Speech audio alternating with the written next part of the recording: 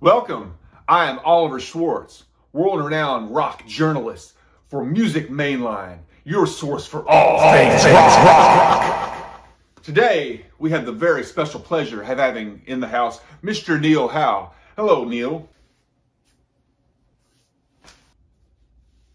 So, tell me, you're a big rock star now, aren't you? You released three albums last year, and you've got another one on the way. No, no, no. I wouldn't say that at all. Uh, yeah, this is just me playing on my computer and making songs that I've like wanted to do forever. So, yeah, I don't think I'm a rock star, and I don't know what to say to that. Oh, but surely you've made lots of money. You're a jet-setting playboy and all that, right? Money and fame, right, right, yeah yeah, I've made hundreds of pennies. Uh, it's great. Uh, no, it's not really what I'm looking for. If it, if that would happen, that'd be great. But I don't think uh, that's not really uh, on my radar. I, you know, it's sure it's in the back of my mind. I love it, but uh, you know, it's uh, something that I can't think about. I have to. The music comes first and you know that means a lot to me. I want to make music that um, sounds good. I want it to be high quality. Uh, you know, so I do the best I can, and I hope that other people will enjoy it as well. Well, I guess tell me about yourself.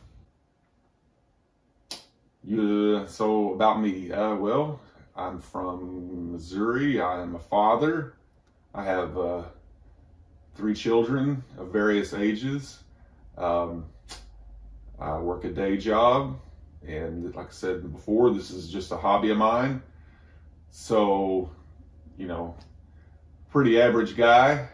You know, grew up as a kid uh, learning guitar and uh, playing music, and none of that really ever worked out. And I'm just, I don't know. This isn't like a one one last shot for me. I just, it's something that there's a creative force inside me. If I don't make things, it builds up. And over time, I, I just have to get it out. And a lot of this has been building up for a long time.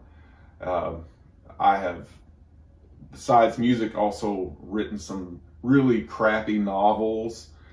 Um, you know, and that was a part of me that, you know, just being creative, I have to constantly make something I feel like I don't know. It, it's, it's it's I can't really put it into words. I but I I do feel the need to get that out. Um, what else can I say about myself? Oh, oh, okay. Well, I guess tell us about your albums you put out last year.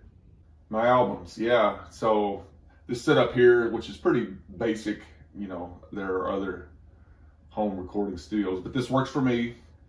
Um, I got it and I just felt unleashed. I just wanted to get all this stuff out and, you know, those, the early first two, especially the first two albums, I really didn't know what I was doing production wise. I have been recording for a long time, but this was a lot of this was new to me. So, um, I'm not really happy with the production of those. I was happy at the time, but look, looking back on it, they could have been so much better. But I feel like I'm starting to learn more how to make things sound better.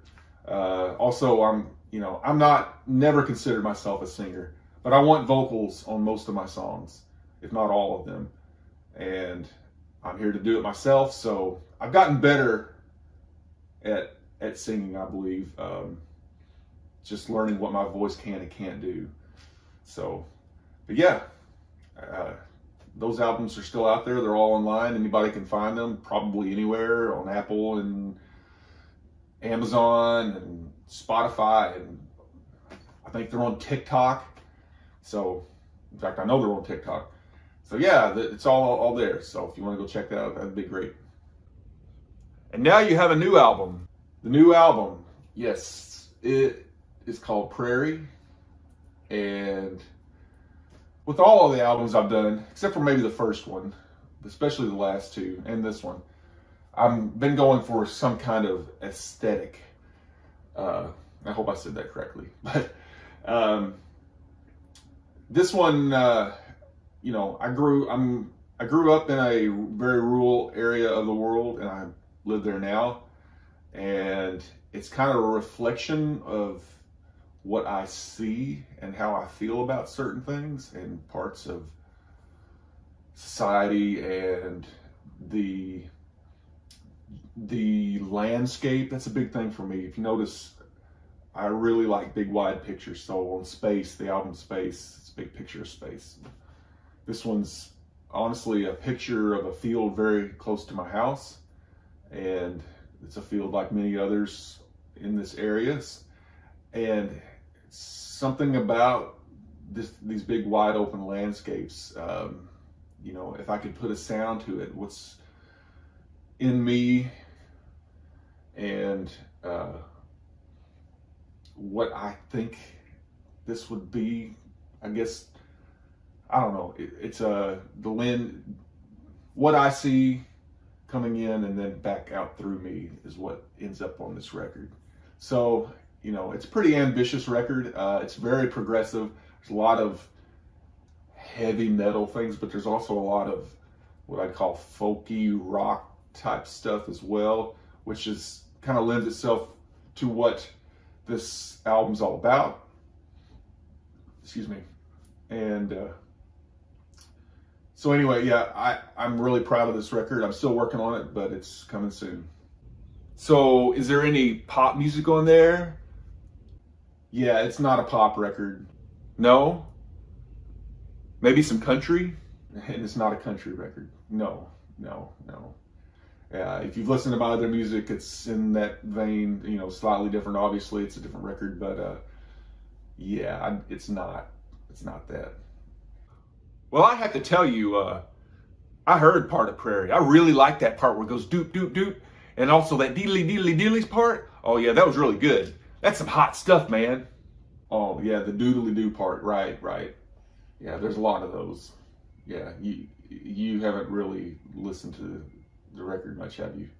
Well, there you have it, folks. Mr. Neil Howell. You can find all of his stuff online, like he said, and you can find us on Music, Music